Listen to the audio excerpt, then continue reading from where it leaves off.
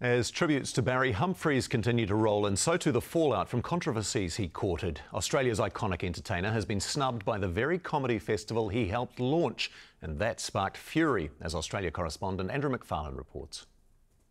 Tucked away in Melbourne's inner city is a very real tribute to Dame Edna Everage and her creator, Barry Humphries proud to know that the street I live in is named after Dame Edna. I had a little work done, but have you? not quite as much as some.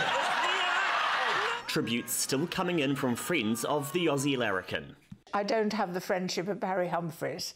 It's really painful. Kiwi Sam Neill tweeting that Humphries made the world fond of Australians. And now a state funeral is all but confirmed, with Sydney and Melbourne competing to play host. But the Melbourne Comedy Festival, which Humphries helped launch, is under fire for closing without an official tribute. Well, when it's all said and done, there's only one opinion that really counts. Mine.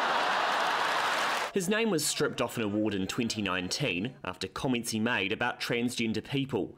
And this morning, longtime friend and award winning actress Miriam Margolyes went into bat. How dare they? He'd had more talent in his little finger than they did in their whole bodies, all of them. I'm outraged by it and I want to speak up now. Margolyes is no stranger to Barry pushing the boundaries. I would have loved somebody like that in Parliament. But you are a lesbian, you know. Well... she says his contributions to comedy shouldn't be eclipsed by his hurtful comments. And he was acerbic, and he was often quite nasty, but he was a genius.